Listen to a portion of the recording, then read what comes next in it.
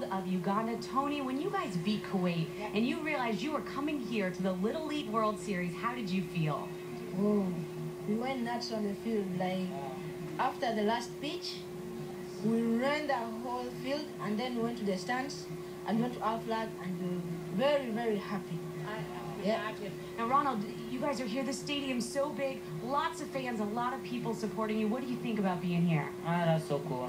I'm so excited to be here. Yeah, like when we won back uh, in Poland, yeah, when we Bitcoin, I, I went mad. I almost threw my uniform because I know I was not getting it.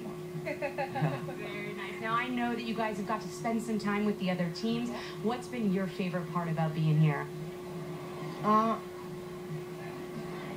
being like in the group or outside. Just here at the Little League World Series, what's been your favorite experience, the thing you've done here? Uh, it's been the batting cages. Yeah? Yep. Because they're so cool. Yeah. Very cool. What about you? Uh, being in the rec room with other teams, Great Lakes, Canada, yeah, I like hanging out with those teams. Do you guys hit the pool, play a little ping pong? Yeah. He, he, he does the ping pong best. Yeah, you're good? I'm good. You're good. All right. Well, good luck to you guys today. One of your, we're, we're all rooting for you. Congratulations on making it here. Thank you. Jenn, thanks very much. And